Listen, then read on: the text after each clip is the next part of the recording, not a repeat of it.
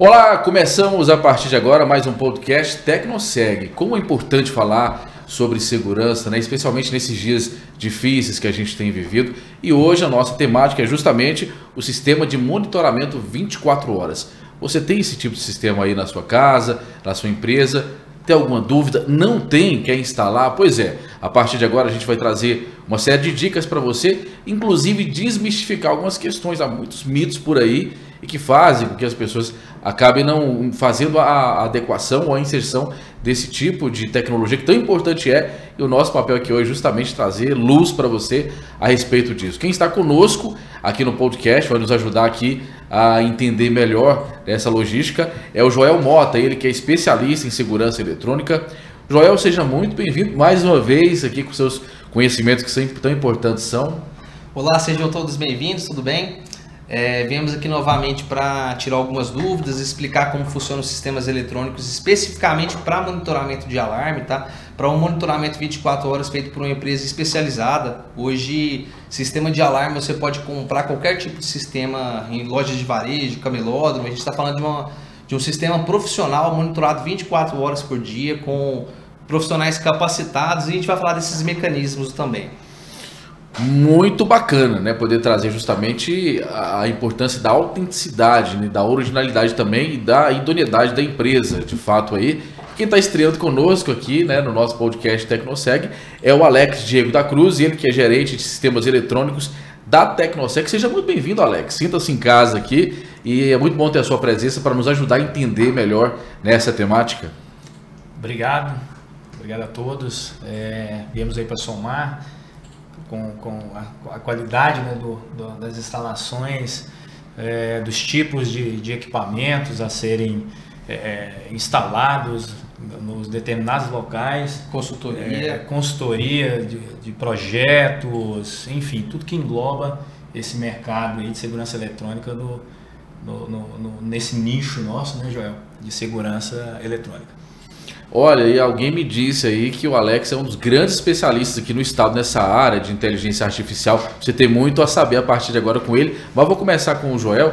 Joel, eu tinha planejado uma outra pergunta para você, mas me chamou a atenção a questão que você falou sobre a, a originalidade. Muita gente quer o menor preço, quer ir ali, igual você falou, vai num determinado local X, compra um aparelho, instala por conta própria, ou coloca alguém ali que, que se diz né, entendedor, mas na verdade não é, e é o barato que pode custar muito caro, né?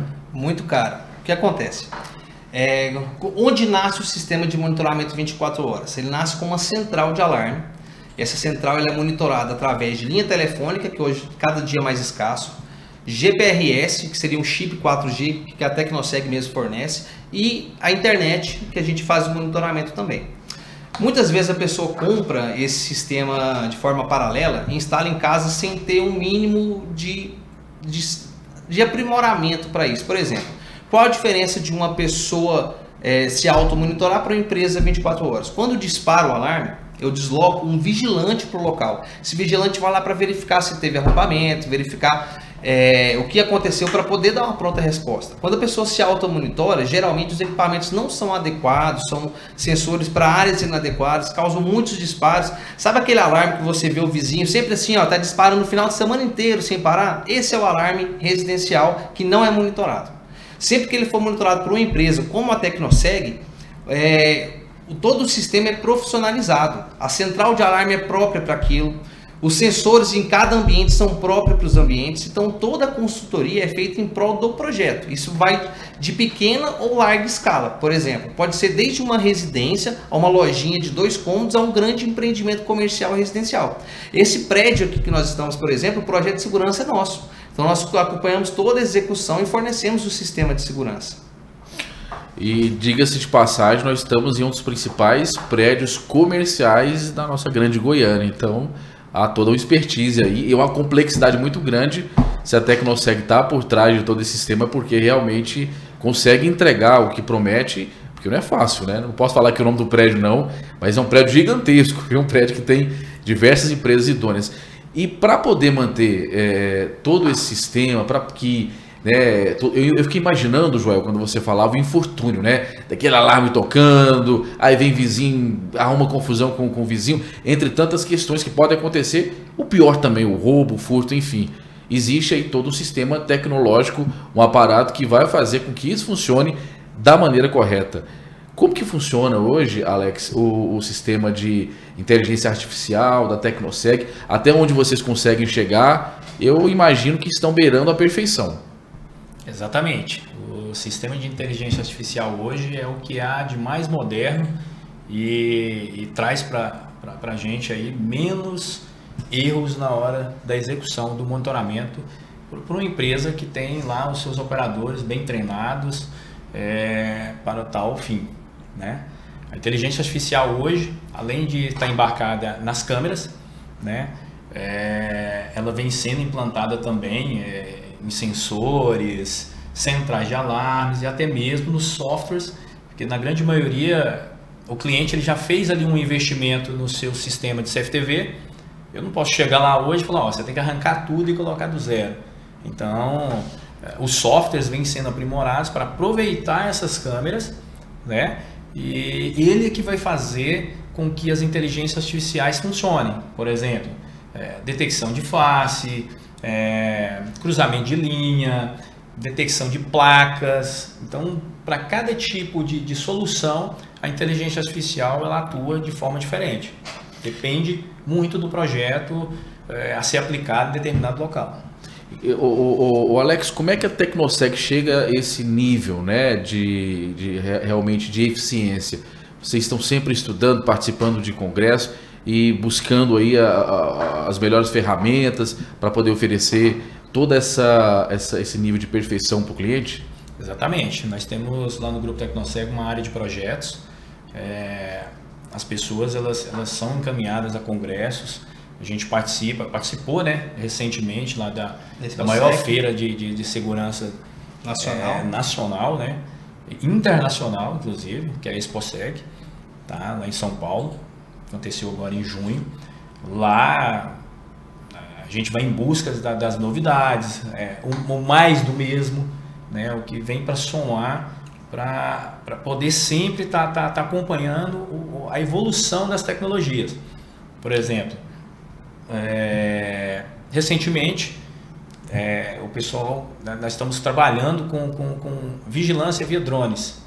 Né? Nós temos hoje os táticos, né? não é que vai acabar com, com, com vigilante, um apoio tático, mas existe os drones que é para poder dar uma, uma eficácia e, e, fazer aquela vigilância onde né? o olho, isso exatamente, onde o olho do, do, do meu vigilante que está no tático ali não consegue alcançar, né? que é uma uma, uma, vigilância aérea, que ele pode ver, verificar ali por, pelo, pelo, pelo, de forma aérea o, o ambiente, o ambiente enfim, como que está a situação, se tem uma intrusão ou não. Lembrando que isso é no, no espaço aéreo privado, tá? Geralmente dentro de um condomínio que já tem um projeto de vigilância, já tem a ronda via moto, já tem todo o projeto de monitoramento eletrônico via botão de pânico para os vigilantes, a cerca elétrica, tem a opção de ter um plano de voo específico para o local, onde esse drone faz é, uma varredura específica a cada X tempo para aumentar a eficácia.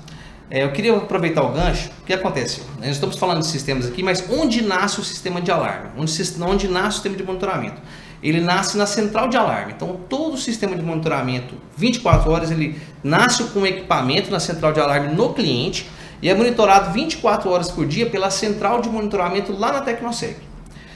A partir daí, vem os agregados do sistema de alarme. Por exemplo, os tipos de sensor para determinados ambientes, sensor para área interna, para área externa, cerca elétrica, sensor de barreira, a inteligência artificial via câmeras, que hoje é integrada ao alarme. A partir daí, vem o monitoramento do CFTV, que é o circuito fechado de televisão, que são as câmeras. O monitoramento do CFTV, como que ele é feito na parte de monitoramento? Ele não é feito 24 horas. Ele é feito por demanda, por questões da Lei Geral de Proteção de Dados, entre outras. Sempre que dispara o alarme ou o pânico de um vigilante, automaticamente é, abre essas imagens para os nossos monitores, que conseguem fazer o acompanhamento visual da ocorrência. Quando não tem as câmeras, faz um acompanhamento através dos disparos que os sensores geram para nós. Então, assim, é, só para contextualizar todo mundo, onde nasce o sistema. Por isso que a gente fala que consegue personalizar. gente vai numa lojinha, coloca lá quatro, cinco sensores que vão satisfazer perfeitamente. Vai um condomínio e faz um mega projeto com sensor perimetral, câmeras com inteligência artificial, tudo abarcado no mesmo sistema, com fins específicos. Como eu estive aqui alguns dias já falando da portaria remota, a portaria remota é o que nós temos de topo de linha em sistemas, porque tem todas essas tecnologias em um único cliente. Sempre tem essas tecnologias, certo? Diferente do cliente residencial. O cliente residencial você vai lá coloca uma cerca elétrica para fazer o monitoramento com eficácia, sensores internos, é, botão de pânico para ele entrar e sair de casa. Como que funciona o botão de pânico? Botão de pânico geralmente é o mesmo controle que arma e desarma o veículo. Ele pressionou o pânico, automaticamente gera um alerta para minha central que pode ou não acompanhar pelas câmeras e tomar uma providência que a gente chama de pronta resposta, que é o encaminho da viatura tática.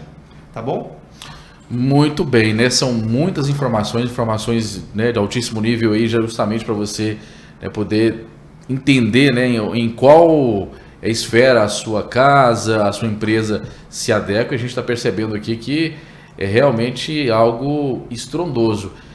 ExpoSeg é, maior, é uma das maiores feiras internacionais, é isso? Internacional. Achei interessante. Eu, como jornalista aqui, eu, a gente trabalha com, com a língua, né? ExpoSeg, Tecnoseg. Bom, não tem nada a ver uma coisa com a outra, mas o sufixo é o mesmo, significa que a excelência está presente nas duas coisas. A empresa segue o nome de uma feira internacional.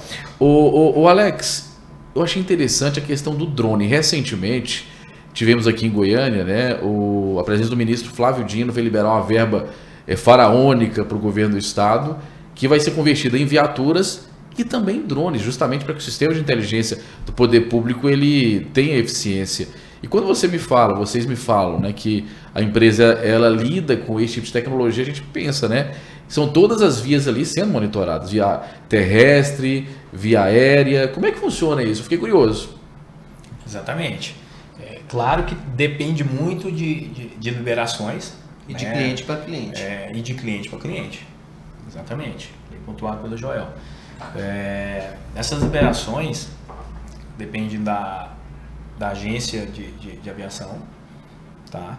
Não é qualquer empresa que pode levantar um Tem todo esse cuidado pro, de vocês. Tem né? todo né? esse cuidado, porque é o seguinte, você está ali é, utilizando o espaço aéreo onde tem é, helicópteros, aviões a todo momento transitando, né? E isso pode causar aí alguns transtornos, alguns transtornos, inclusive drásticos, né? Uma tragédia. Então, a empresa ela tem que estar qualificada, ela tem que estar liberada para esse, Pela pra, esse uso de, é, dos drones, tá? Não é para qualquer local, tá? Não é para a lojinha lá do varejo, onde eu vou colocar ali no centro de Goiânia um drone para fazer uma, uma vigilância, né? Isso vai ser mesmo em, em grandes condomínios, em grandes é, empresas, onde o espaço aéreo ali ele, ele é restrito, privado, né? privado exatamente para aquilo ali, tá? Já aproveitando a questão da tecnologia dos drones, isso usando a, inteligência artificial é, consegue detectar N situações. Vai depender de cada cliente o que, que ele realmente quer monitorar. Se é monitorar uma intrusão, se quer monitorar, por exemplo, o desempenho dos seus colaboradores. Então a tecnologia ela abrange não só a segurança, né, como também o desempenho de, de, de pessoas no local de trabalho.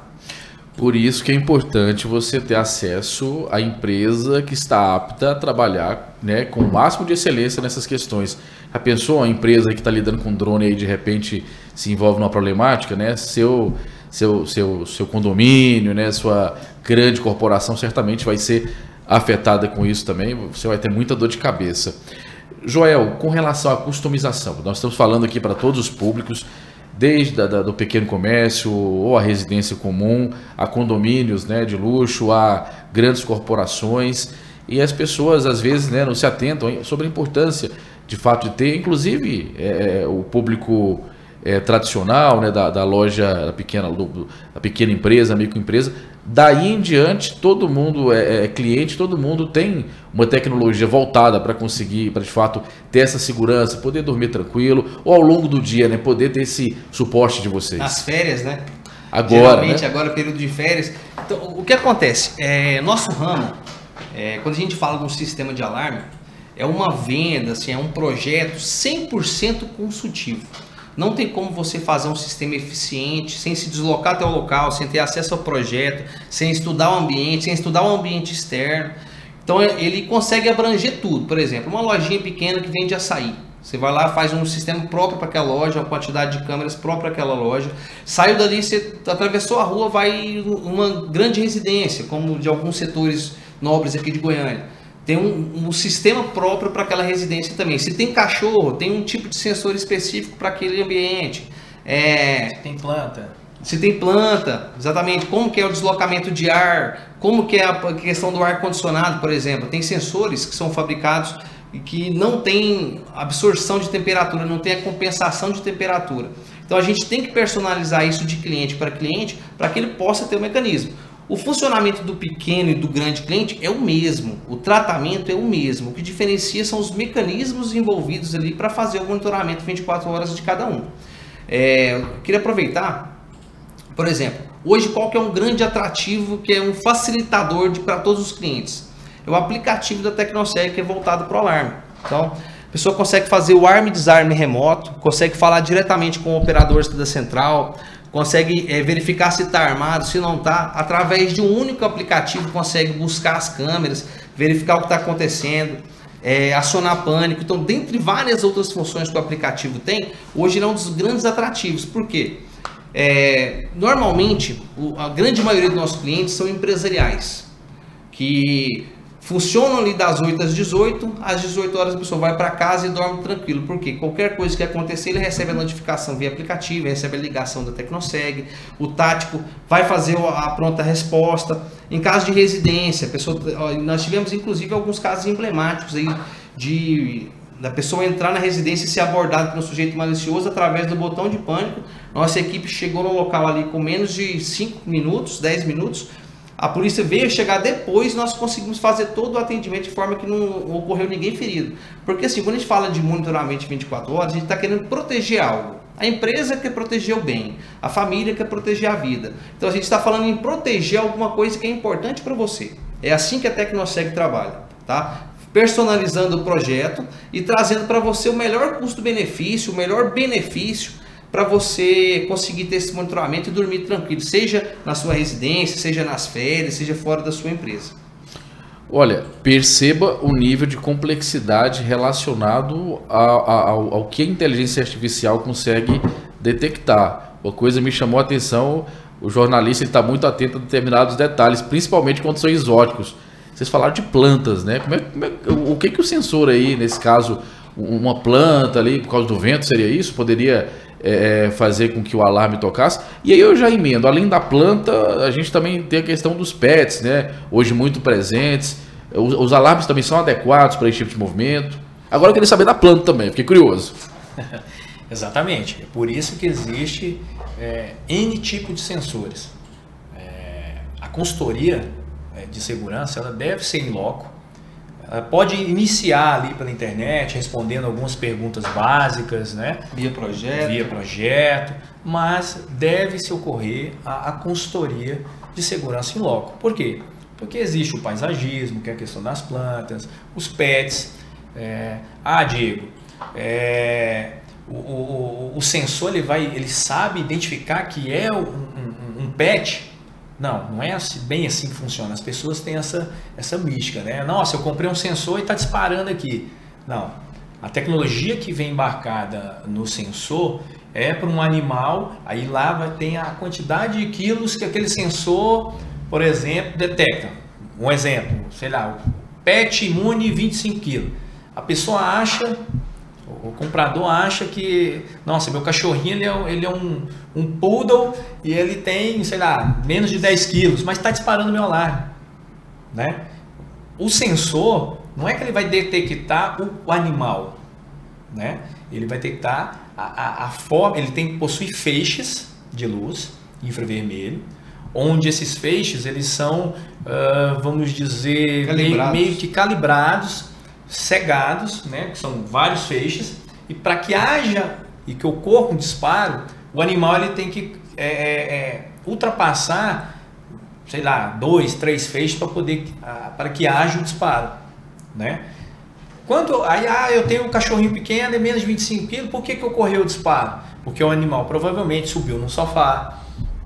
Aí, quando ele sobe no sofá, ele, ele, ele começa a fazer, a cortar os feixes De forma vertical. de, de forma vertical, que é diferente do que ele está no piso. Quando ele está no piso, não vai ocorrer o disparo. Mas, sei lá, ele subiu no sofá e cortou um, dois, três feixes. Aí ah, o sistema dispara. Isso ocorre muito com gato. Porque gato é um animal que sobe em tudo.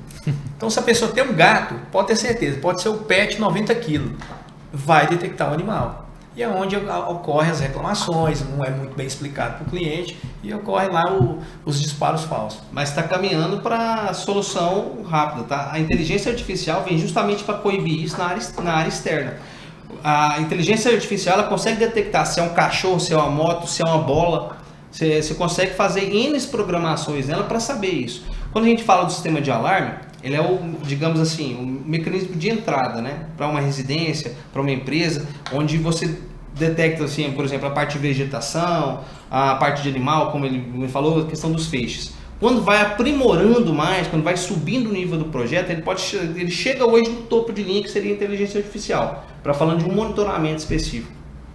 Mas, mas eu, eu imagino assim, pelo que a gente vem estudando, né, Diego, para quem estudar, É. parece que nu- Nunca acaba, nu- é, é muita informação para a gente absorver todos os dias.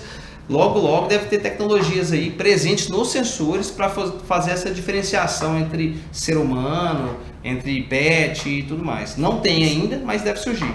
a, a, sua, a sua observação quanto à questão da planta é do mesmo conceito. Tá? Vai depender muito do tamanho da planta, etc. Então, é, o, o- o consultor de segurança ele tem que ter esse feeling. O cliente ele quer proteger aquele ambiente, um ambiente X da residência. Mas se ele tiver muita vegetação, ele, ou, ou não vai ter como ele fazer a proteção desse ambiente, ou ele vai ter que partir para um outro tipo de sensor, que aí já é uma tecnologia de cortina, por exemplo. Não é um sensor que tem uma abertura de 90 graus. Sensor de 90 graus ele, ele protege, por exemplo, uma sala inteira. Imagina lá a sala de estar da sua casa. Né? Sensor de 90 graus vai proteger tudo.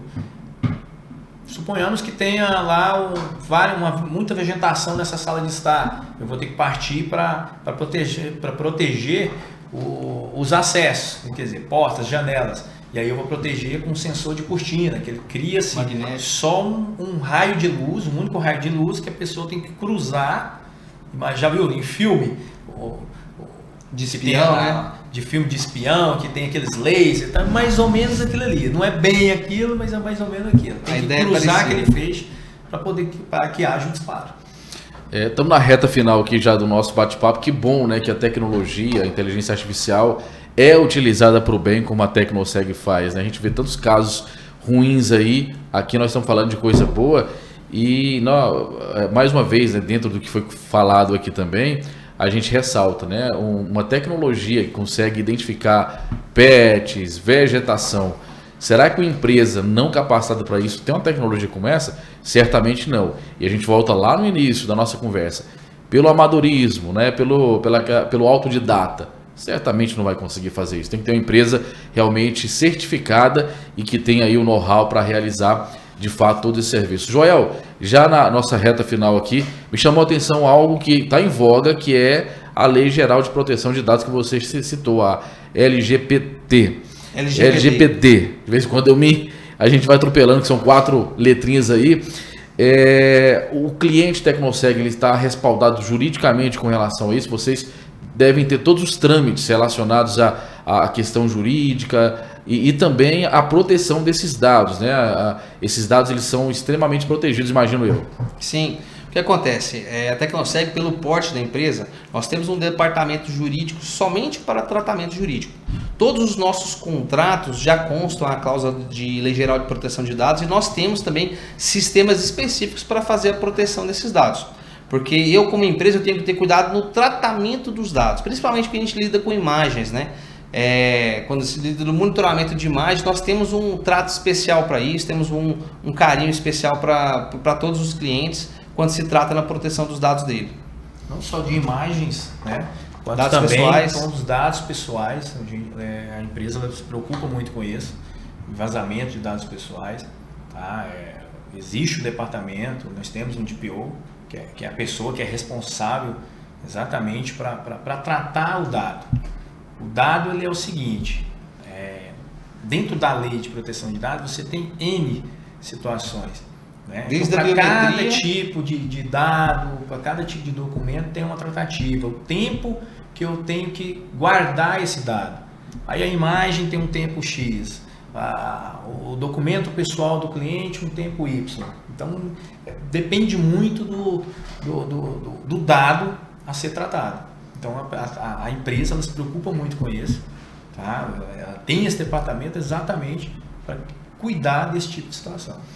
Ou seja, a pessoa autodidata ou a pessoa que contrata uma empresa que não tem aí de fato a procedência, certamente vai ter dor de cabeça, porque essa questão da Lei Geral de Proteção de Dados, ela é extensa, ela é complexa. Né? Então, nós não estamos falando aqui só de tecnologia, é o carro-chefe, mas por trás disso aí tem toda a equipe preparada também no aspecto jurídico e no que fazer, porque muita gente nem sabe o que é de fato a Lei Geral de Proteção de Dados.